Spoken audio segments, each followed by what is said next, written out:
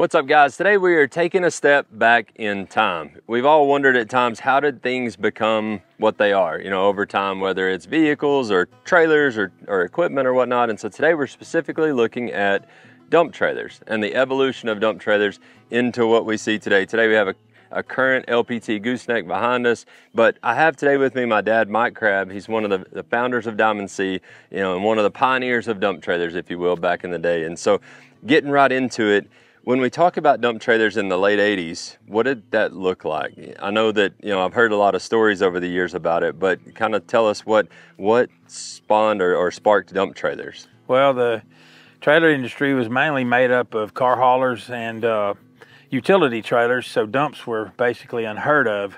And uh, the dump trailer industry started with uh, other manufacturers, very tiny at the time, using single or double push, just hydraulic cylinders. Uh, hard to, uh, or harder to rig up, you know, the valving system, the, the hoses, things like that.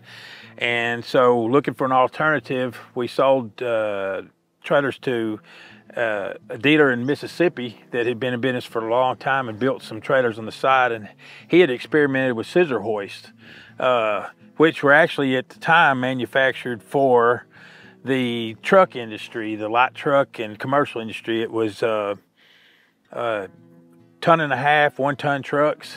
And anyway, uh, the scissor hoist made building a dump trailer so much easier. Uh, he asked me to build uh, a hydraulic dump, and the first one we built actually had a scissor hoist under it and was very easy to uh, mount. And anyway, the simplicity of it carried over.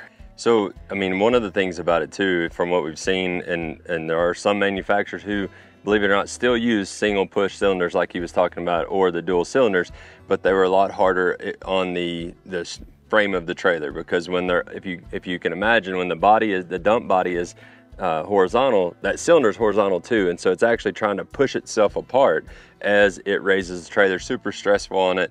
Um, so therefore the scissor lift wasn't just easier on manufacturing, manufacturability, but it was also better for the consumer. Definitely. Yeah. Uh, we did. I would. I would be lying if I if I didn't say we did experiment just a little bit with uh, push top cylinders. But you had to beef that part of the trailer up so heavy to keep from bending components under there that are tied to the main structure in the frame that it uh, was overkill. Yeah. The, the scissor lift uses um, well engineering and, and physics, right? Mm -hmm. uh, you know, for it to, the way that it operates. And so it, the scissor lift has been, you know, was used, Diamond C used them from, like he said, from, you know, very beginning up until just recent years, 2021, 2022. And from scissor lifts, you know, we, we evolved into what we have now as a telescopic cylinder. And again, telescopic cylinder has been around for a long time. Uh, telescopic cylinders go far as I, I know from just when I was young working around construction, my dad tele telescoping cylinders go back to the uh, further than I than I do back yeah. like the 50s. You know, they're on uh, mainly dump truck applications. Yeah, big semi end dumps yes. and things like that use telescopic cylinders.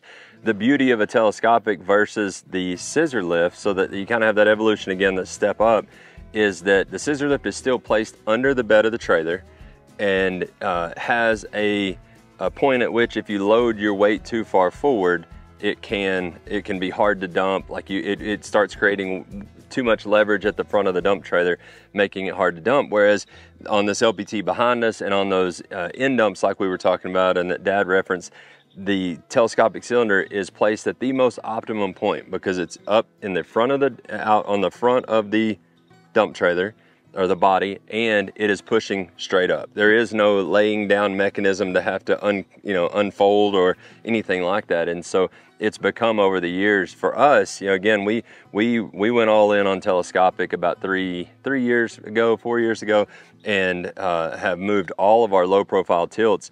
And now even our deck over tilt uh, I said tilt, dump trailers, moved all of our dump trailers over to telescopic and uh, just because it's sheerly the, the the better the better lifting mechanism for us.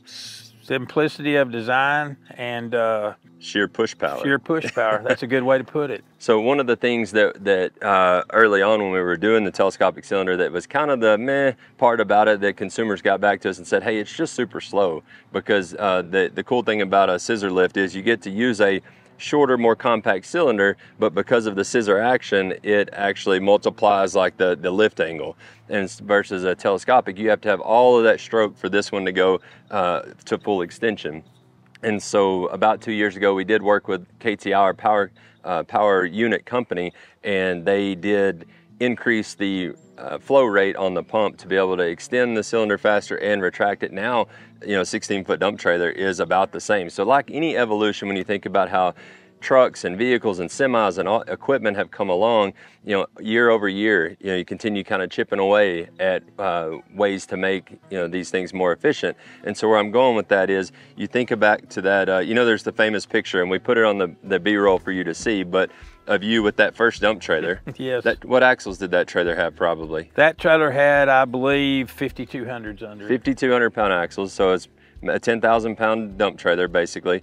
It was looked like probably 12 foot long. Like dumps then were kind of 10, 12, yeah, some 10, 14s. 12, yes, for sure. And so looking at the way that those have a, the, the weight of things, the weight of equipment and all has evolved, you go from that, you know, 12 footer gooseneck dump with 5,200 pound axles to now behind us, this is kind of the pinnacle of low pro dump trailers. This one's 16 foot long, has 32 inch sides, 10K axles. You know, everything again has just over time evolved into now what we believe is like, again, the pinnacle, the, the uh, most heavy duty commercial dump trailer on the market. So you got any closing words for them on dump trailers? Uh, I would just say they have come a long way. Cool. Well, we hope this was insightful for you. Get on diamondc.com. There you can view all the, the range of dump trailer goodness there from little five bay dumps all the way up to a 20 foot dump and uh, get on the Learning Center and learn more today about Diamond C dump trailers.